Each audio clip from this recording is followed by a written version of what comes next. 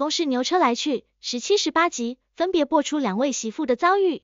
地主媳妇米可白向杨烈抱怨借腹生子之事被传开，她寂寞委屈可以忍，但这不能忍。下一集则是三姑六婆酸佃农媳妇安心雅不够贞洁，竟然去被借腹生子，这表现出台湾过去无论社会阶层差异，社会普遍对媳妇这种角色的期待，包括一好好照顾婆家的孙子，二为了这个任务必须弃自我。这种社会压迫，从地主媳妇米可白对地主杨烈的对白可以发现。米可白说了几句话：尽我媳妇的本分，抚养陈家的后代，不管多么寂寞，多么委屈。难怪台湾人说好野人的饭碗难捧。这个豪门媳妇米可白的一生，应该说非常悲惨，甚至比安心雅还惨上好几倍。固然物质生活可能很好，但米可白一生的期待。全放在这个王福的种，自我期待、自我成长都必须完全放弃。这由现在许多台湾豪门媳妇婚后就必须变成全职家庭主妇，以下一代豪门子女成就当成自己成就可知。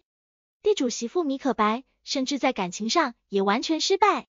当她与佃农媳妇安心雅研究丈夫博文为何原因出去而不幸被打死时，安心雅必须欺骗米可白说，博文是来与安心雅。一刀两断的，但事实刚好相反。换句话说，米可白所谓媳妇的本分的姻亲关系，其背景非常虚幻。一来，丈夫生前已经移情别恋；二来，儿子与她无血缘关系；三来，她非常寂寞与委屈，却要坚守媳妇的本分。如果说《牛车来去》中目前为止最悲惨的女性角色，就是米可白了。其次，佃农媳妇安心雅祈福早死。社会上的三姑六婆闲言闲语，以我看来就是羡慕、嫉妒、恨。就算安心雅丈夫没死，她怎么样又关这些人屁事？台湾文化管到人家家里去干什么？更扯的是，人家都死丈夫了，就不能性自主吗？对方的配偶米可白都同意了，旁人说什么闲话？但是这是过去的社会观念，所以三姑六婆说闲话。很扯的是。他们扣上了安心雅的一个大帽子，是贞洁女子。台湾文化对贞洁的要求其实非常神性，就像台中的大甲镇澜宫中有贞洁吗？其网页说明为生于清乾隆四四年（一七七九年）的贞洁妈林春娘，原是大安乡中庄人士。小时候因为家贫，送给大甲三角街口余家当童养媳。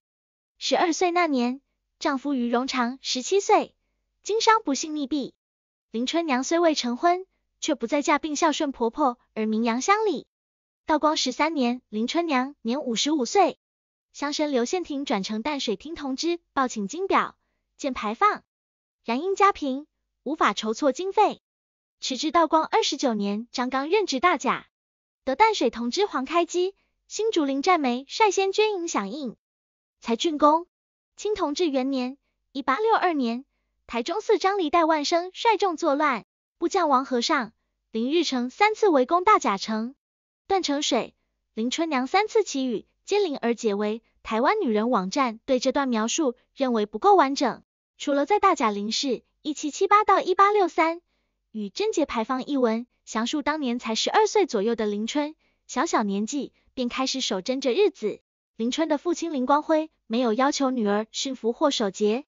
反倒希望接她回家，但林春不忍心弃婆婆，有情有义的终身侍奉婆家，并且照顾眼盲必须被长照的婆婆，又因为身为具有德性的妇女，并且为大甲城祈求天降甘霖三次成功而受民众感念。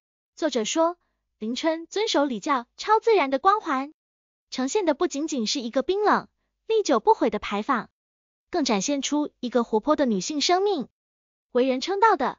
不应该是刻板的遵守贞洁孝道，而更是在艰苦的际遇中百折不挠、积极求生，运用智慧、才干与行动散发出的光彩与风华相对的。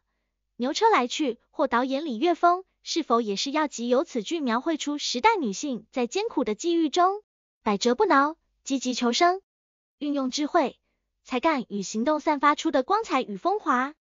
但以我的看法，这实在太辛苦。其实也不人道。